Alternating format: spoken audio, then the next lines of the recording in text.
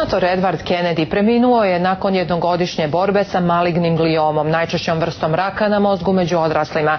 Nacionalni institut za rak navodi da je prognoza za pacijente koji imaju maligni gliom veoma loša.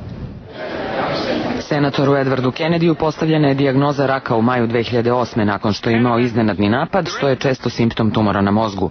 U medicinskom centru Univerziteta Duke Kennedy je podvrgnut operaciji radi uklanjanja tumora. Lekari su saopštili da je ona bila uspešna, a senator je napustio bolnicu šest dana kasnije. Neurohirurg Anthony Caputi kaže da uspeh predstavlja uklanjanje oko 90% tkiva tumora. Izgledi za druge tretmane su mnogo bolji ako uklonite 90%. Kennedy je bio podvrgnut kraniotomiji koja uključuje otvaranje lobanje kako bi se prišlo površini mozga. Hirurzi zatim ustanovljavaju tačnu poziciju tumora, često uz pomoć magnetne rezonancije ili CAT skenera.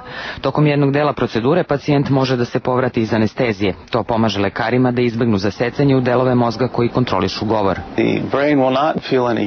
U mozgu se neće osetiti bol, tako da možete da stimulišete pojedine delove dok je pacijent budan i ispitate motoričke funkcije i govornu funkciju što omogućava da veoma pouzdano ustanovite gde se tačno nalaze odgovarajuće oblasti. Lekari još ne znaju šta uzrokuje tumor na mozgu. Oni znaju koji su faktori rizika, a senator Kennedy ih je imao sve. Muškarci su skloniji tumorima na mozgu od žena, isto kao i belci i osobe starije od 70 godina.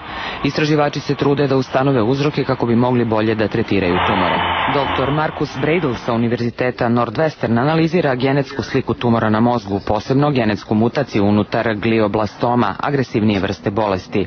Međutim, postoje stotine hiljade gena u genomu tumora.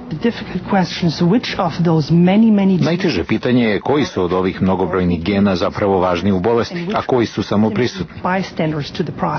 Ishod kod senatora Edwarda Kennedy je bio očekivan. Nacionalni institut za rak saopštava da su tumori na mozgu među najvećim uzročnicima smrtnosti od raka. Lekari upozoravaju da se čak i uz tretman ti agresivni tumori uvek vraćaju. Ono što se ne zna je kada.